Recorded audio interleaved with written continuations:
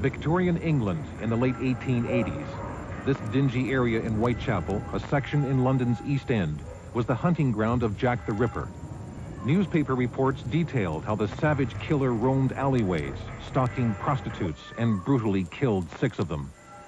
For more than a hundred years, Jack the Ripper has been the subject of macabre interest in books, movies, and folklore. Little was known about the killer, except police believed he had a medical background because of the way he skillfully removed victims' organs.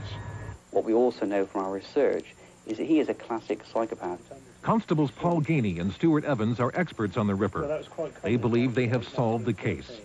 Jack the Ripper was an American doctor named Francis Tumblety. He married an older woman, and then it turned out that she was, in fact, a prostitute and was a working prostitute at the time of their marriage. He then, in his own words, turned against all women and especially prostitutes.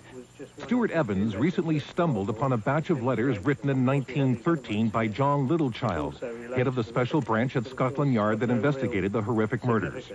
Littlechild named Dr. Francis Tumblety as the prime suspect.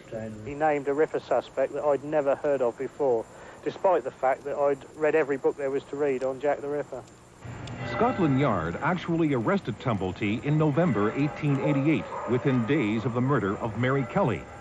Littlechild knew he was their man. They charged Tumblety with a sex offense to buy more time to collect evidence. But the wealthy Tumblety was able to post bail, then skipped town and fled to the United States. Their grotesque murders then stopped. Although they arrested him, they couldn't find that vital piece of hard evidence to prove it. What I've got to say is that this is the nearest we'll ever come to naming Jack the Ripper. Littlechild sent a team of detectives to New York to arrest Tumblety, but he gave police the slip and disappeared to the Caribbean. Officials at Scotland Yard were convinced that Tumblety went to Jamaica and Nicaragua because police in both countries reported several prostitute killings fitting the exact methods used by Jack the Ripper.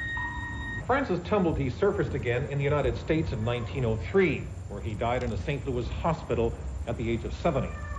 Evans and Gainey say that the Littlechild letters prove beyond reasonable doubt that the glove fits. Francis Tumblety was Jack the Ripper. But more than a hundred years later, Scotland Yard still has not closed the case. Neil Lundy, Global News, London. And